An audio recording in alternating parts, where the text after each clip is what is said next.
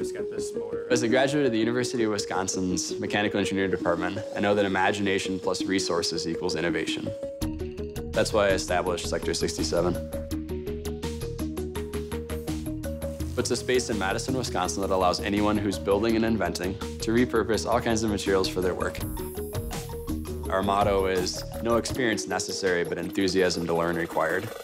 Off to one side by tool diameter. Sector 67 really supplements what the university can provide in giving students an opportunity to interact with people outside of their classrooms and who's been doing this in industry for 20 or 30 years. And really those opportunities are amazing in terms of moving people's ideas forward. My goal is for Sector 67 to fuel imaginations throughout the community. I can't wait to see what great things come out of all of this. Go Badgers!